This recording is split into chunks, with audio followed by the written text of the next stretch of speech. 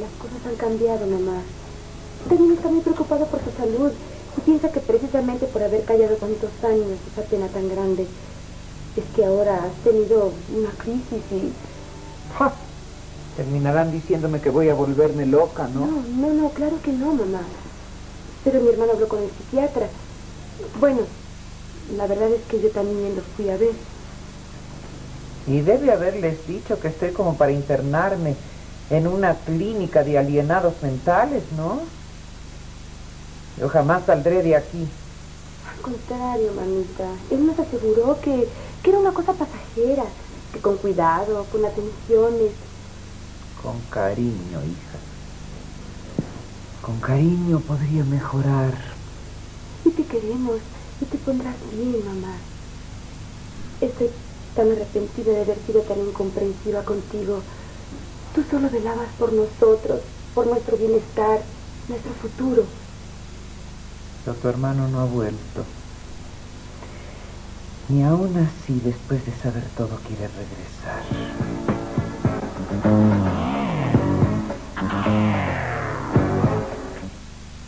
Entonces, de ninguna manera piensas volver. Y aún ahora que sabe lo que pasó y cuánto te necesita tu madre. Pues no sé, licenciado. No lo sé. Por un momento me, me conmovió la historia que nos hizo, pero en realidad... Ella no les hizo ninguna historia. Les dijo la verdad. Oiga, ¿y quién era esa mujer? Aquella amiga de mi papá, la que lo mató. La muchacha, una coqueta que seguramente solamente lo buscaba por su dinero. Cuando él quiso terminar con ella, pues, por venganza o por despecho. ¿Y, ¿Y qué fue de esa señora? ¿Dónde está? ¿Vive todavía? No, no, no, no, no. Murió como unos cinco años después de haber cometido ese crimen. Desde luego habrá estado en la cárcel, ¿no? Ah, desde luego. Es verdad todo lo que nos contó mi madre. Que mi papá andaba con una y con otra y que casi no la tomaba en cuenta ella. O tal vez esa mujer era algo muy serio para él y, por eso cuando, cuando terminaron... No, no, no, que va. Tuvieron un pleito y en un arranque. Eso fue todo. No se hace eso nada más porque sí, licenciado. Y menos aún si se trata de una, pues, de una simple aventura. Debió haber sido algo importante para él y para ella. Tuvo que haber algo más. ¿Por qué siempre tienes que estar buscando y buscando, ahondando en las cosas, aunque estén claras? Se te hayan expuesto tal como fueron. ¿No confías en tu madre? No me explico por qué no nos dijo la verdad desde un principio. Porque no quería hacerles daño. Porque le daba pena que siendo ustedes unos niños, supieran lo que había pasado. Y cuando fuimos adultos, ¿qué?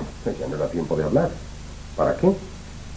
Pues para que, para que no la juzgáramos tan duramente.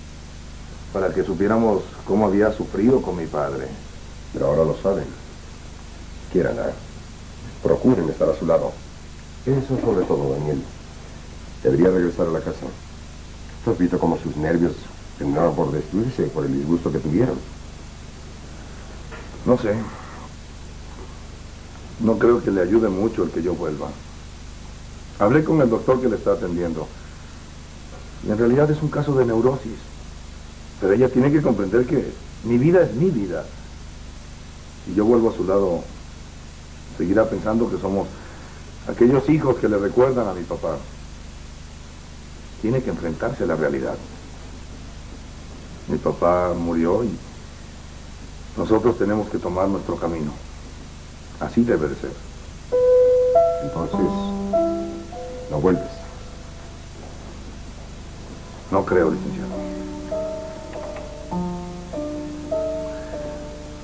Aunque sí debo reconocer que al escucharla tan humana, tan, tan dolorida, sentí por ella un, no, no, un gran, un gran cariño. Un cariño que puedo demostrarle sin necesidad de regresar a la casa.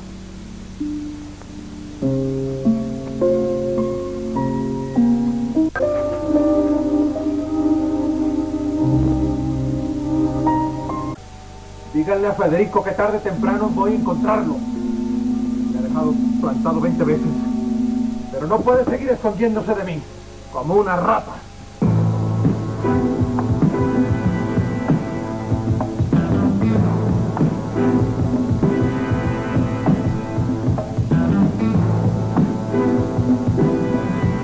Pero es absurdo que ella piense que la busco para divertirme.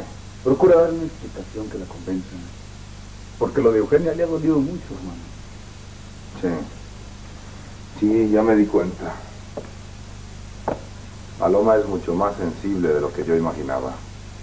O mucho más digna, Daniel. También le ha molestado saber que tiene dinero y que se lo ocultaba. No se lo ocultaba. Simplemente no quería hablar de eso. Ahora mi vida es otra. Y en realidad no tengo nada, nada más que mi carrera y, y unos enormes deseos de abrirme camino. Tú lo debes entender porque has hecho lo mismo que yo. Tú has querido desligarte de ese mundo tan falso y absurdo por todos lados. Por cierto, me dijo tu mamá, Rosa, que mañana regresa a Chihuahua. Me pidió que, que la ayudara, que tratara de convencerte que tu sitio está allá. ¿No crees que deberías volver con ella? ¿Y tú me dices eso, Carlos? ¿Precisamente tú? Sí, precisamente. Te quiero, Rosa. No sé si, si aquí puedas conseguir todos esos sueños que quieres. Tú sabes a qué me refiero, ¿verdad? y se espera que para las próximas vacaciones del mes de mayo la afluencia de turismo en el puerto de Acapulco sea tan grande como durante la Semana Santa. Eso es todo por hoy, amigos. Pero antes, el último reporte acerca de la volcadura del autobús.